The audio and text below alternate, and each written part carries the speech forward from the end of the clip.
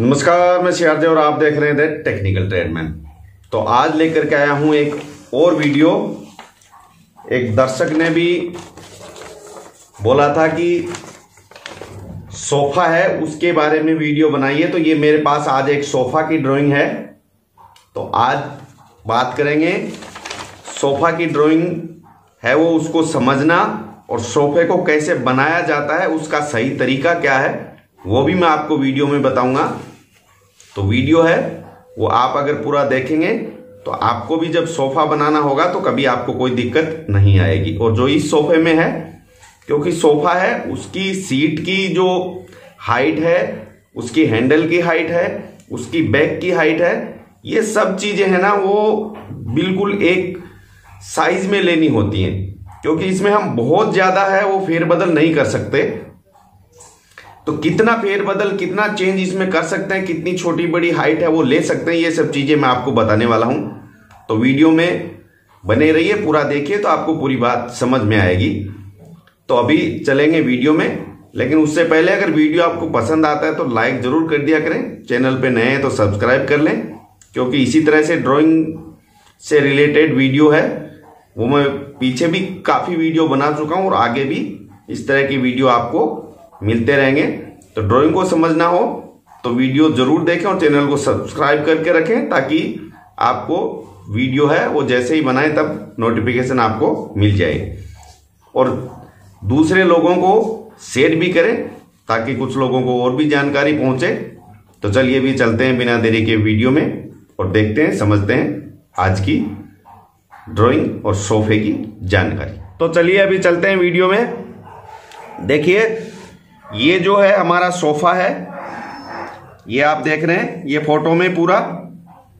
तो फ़ोटो में आप देख रहे हैं, कोई बहुत ज़्यादा है, वो कॉम्प्लिकेटेड सोफा नहीं है, सीधा सा सिंपल सा है। लेकिन जो सोफे से रिलेटेड जो जानकारी मैं आपको देने वाला हूँ, कि सीट है, वो सोफे की कितनी लंबी, कितनी डीप कितनी हाइट इसका जो हैंडल है, उसकी क्या हाइट होनी चाहिए और इसकी बैक की क्या हाइट होनी चाहिए।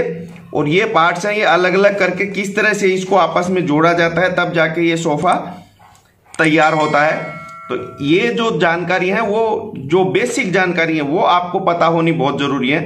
अगर वो नहीं पता हुई तो फिर आप सोफा नहीं बना सकते। क्योंकि सोफा का काम है, वो एक अलग तरह का काम है। अच्छे से अच्छा मिस्त्री अगर वो भी सोफा बनाने अगर देना, जिसने पहले सोफा का काम नहीं किया तो वो भी सोफा नहीं बना पाएगा। क्योंकि सोफे की जो बेसिक जानकारी है वो बहुत ज़रूरी है। तो मैं आपको सबसे पहले बताता हूँ।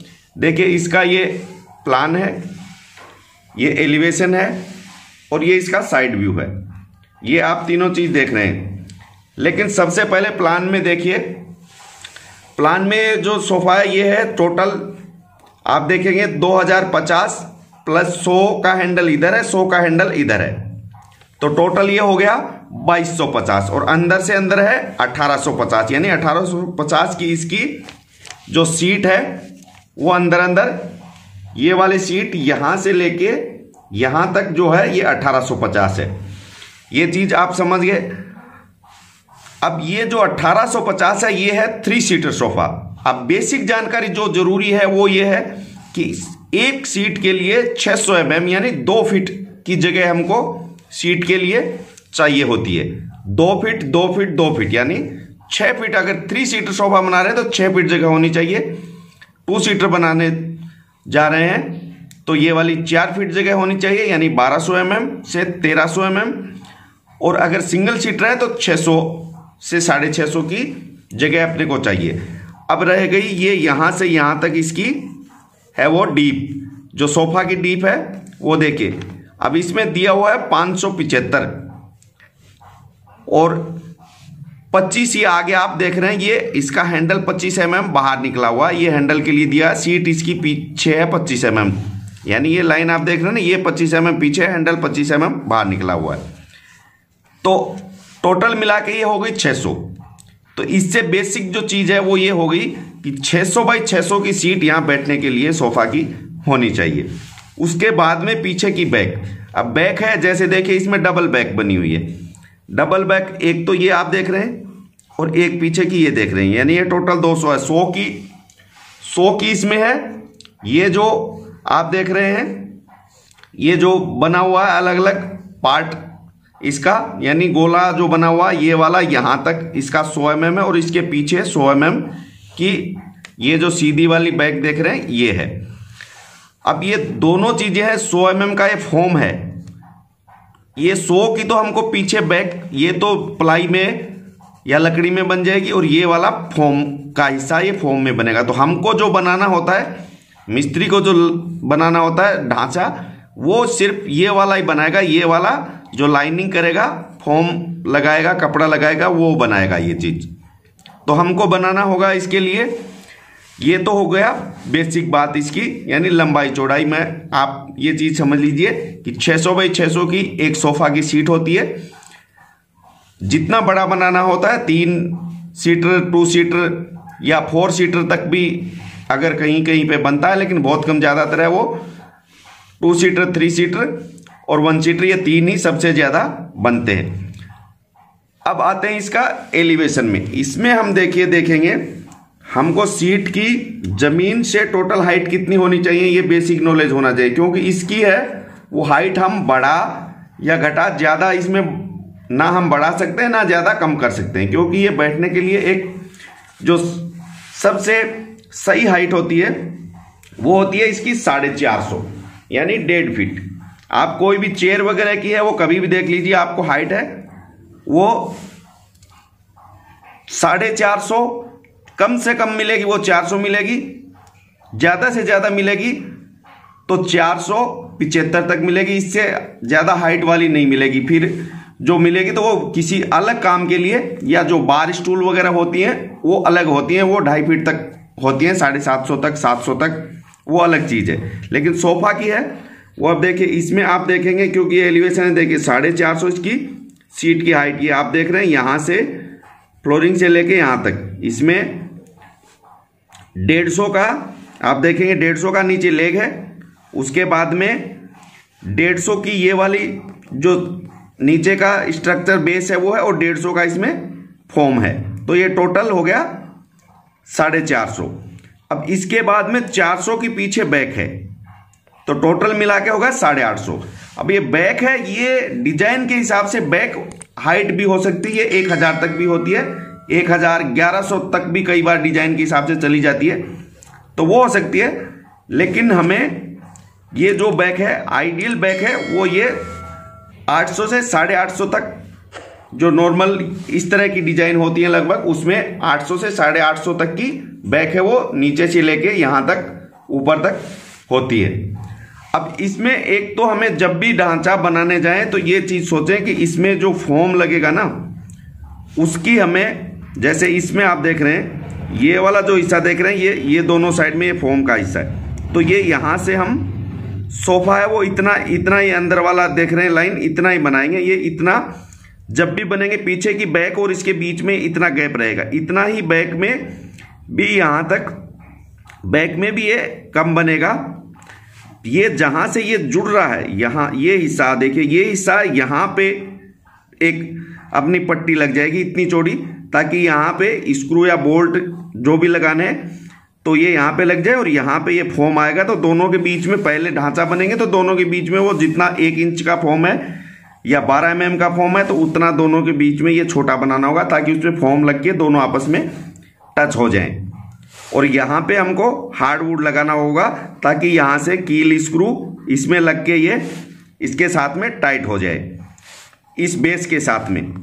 ये ये ये तो फॉर्म है, ये ये वाला जो बेस है, इसके साथ में ये कील स्क्रू लगेगा, मैं ऊपर गद्दी में बता दिया था गलती से।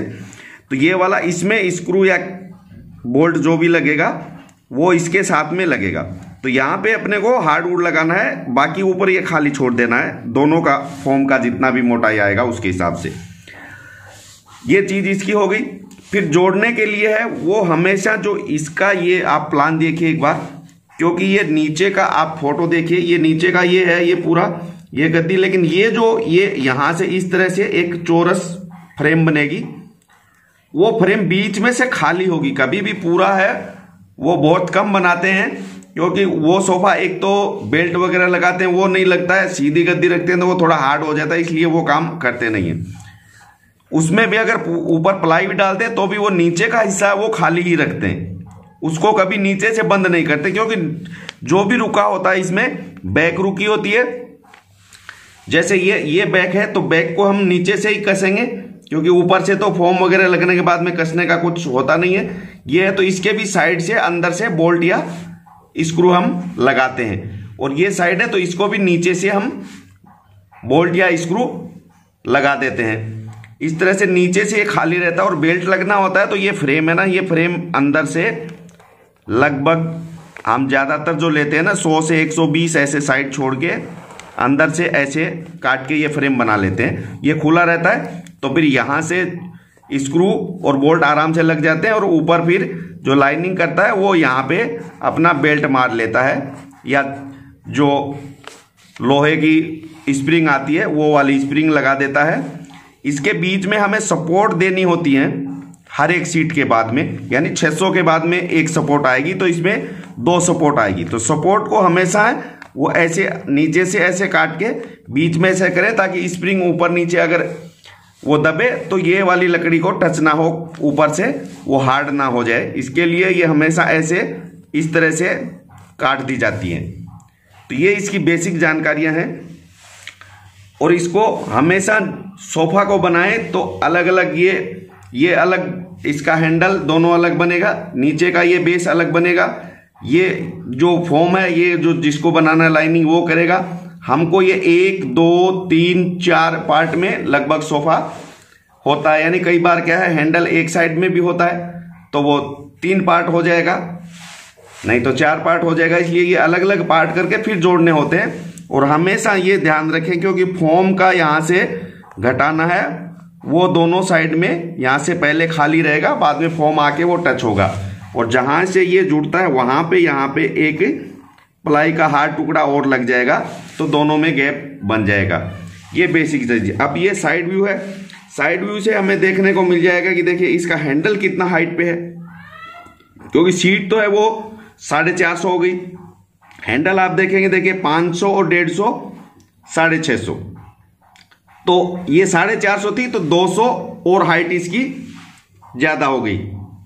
तो हमेशा आप बैठ के ये देखेंगे ना, जब भी हम बैठते हैं, हमारी जो कोहनी होती है ना, वो कोहनी यहाँ से हम बैठेंगे तो कोहनी है, वो यहाँ से 200 से पौनी 200 तक हाइट होगी और रिलैक्स वहाँ पे रखेंगे तो रिलैक्स आराम से रखी जाएगी। अगर इसको हैंडल को ऊपर कर देंगे तो फिर कोहनी ऐसे कंधा है, वो ऊपर की तरफ़ जाएगा तो आराम से नहीं बैठ पाएँगे। ये चीज़ें इसकी है। तो हैंडल है वो सीट से 200 ऊपर होनी चाहिए। सीट है वो साढ़े चार सौ होनी चाहिए। और बैक है वो डिज़ाइन के हिसाब से है वो 800 से 1100 के बीच में होती है। इससे ज़्यादा हाइट तो बहुत कम कोई अलग डिज़ाइन बना दे तो अलग बात है, बाकी होती नहीं है। लेकिन जो नॉर्मल है, वो 800 से हज़ार के बीच में बैक होती है। ये चीज़ें हमको पता होनी चाहिए। और इसको ज्वाइंट करने का जो मैंने तरीका आपको बताया, मुझे उम्मीद है आपको इसको अगर जब भी बनाएँगे, बनाने जाएँगे तो आपको ये चीज़ें काम में आएगी। और वीडियो अगर पसंद आता है तो लाइक ज़रूर किया करें। दूसरे लोगों को शेयर भी करें ताकि जानकारी और लोगों तक भी पहुँचे। तो आज की वीडियो में इतना ही। आगे फिर मिलेंगे नई वीडियो में नई जानकारी के साथ। तब तक के लिए दीजिए इजाज़त। धन्यवाद। जय हिंद।